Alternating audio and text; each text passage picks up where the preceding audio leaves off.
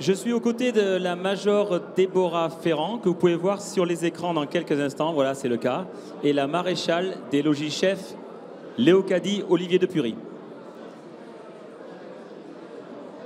Alors, il s'agit de deux parachutistes de haut niveau. Major, vous avez vécu deux choses importantes euh, il y a quelque temps. Vous avez déjà euh, franchi la barre euh, des 10 000 sauts et vous avez également souhaité mettre fin à votre carrière de sportif de haut niveau. Oui, en effet. Bonsoir à tous. J'ai eu la chance de faire mon 10 millième saut au mois d'avril, entouré de mes coéquipiers et de mes coéquipières. J'avais un avion un avion pour moi et on a pu fêter ça. Euh, le 10 000 sauts, c'est une barre assez symbolique en effet, mais je pense qu'on entre un peu dans la catégorie des vieux parachutistes. Et j'avais vraiment hâte de faire ce saut et de pouvoir le faire avec, euh, avec les personnes euh, que j'apprécie. Et en effet, j'ai mis fin à ma carrière sportive il y a deux semaines en terminant avec une compétition à Dubaï. Euh, après 20 saisons en équipe de France civile et militaire. Alors la Major, la Major Ferrand, c'est 115 euh, médailles internationales, 4 titres médaille d'or championnat du monde civil, 8 titres championnat du monde militaire et 31 médailles d'or en Coupe du Monde. vous avez donc fait votre dernière compétition à Dubaï en compagnie de la maréchale des logis chefs Léocadie Olivier de Pury qui a terminé première et vous troisième. Et je crois que ça a été l'occasion aussi de passer le flambeau. C'est ça, Major? Alors, c'était très symbolique. En effet, Dubaï, c'est une compétition qui est, très sympa déjà parce que, euh, parce que le paysage est à couper le souffle.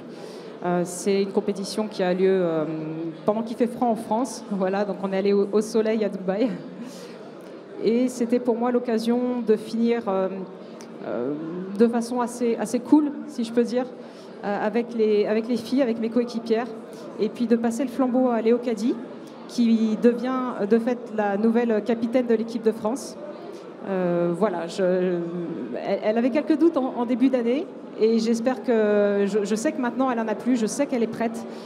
Et elle a gagné les deux compétitions, euh, comme j'aurais pu les gagner il y a quelques années. Et, et je suis vraiment fière d'elle parce que très symboliquement, ces deux compétitions ont prouvé qu'on pouvait se passer le flambeau euh, de la plus belle des manières. Merci Major. Alors maréchal des logis chef, quand la Major est entrée dans l'armée de l'air, vous aviez 9 ans. Eh oui, je suis désolé de, le dire. Eh oui, vous aviez 9 ans. J'imagine que ça a été un moment très fort, cette dernière compétition aux côtés de la Major Effectivement, euh, ces euh, deux dernières compétitions ont été juste incroyables.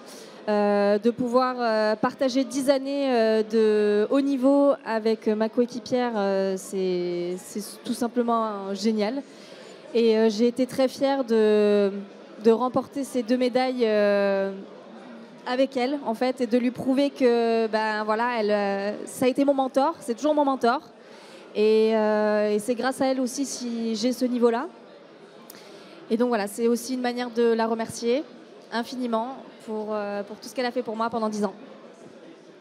Merci beaucoup. Je vous souhaite, on vous souhaite la même carrière que la Major. Merci beaucoup à toutes les deux et allez profiter du, du buffet. Merci.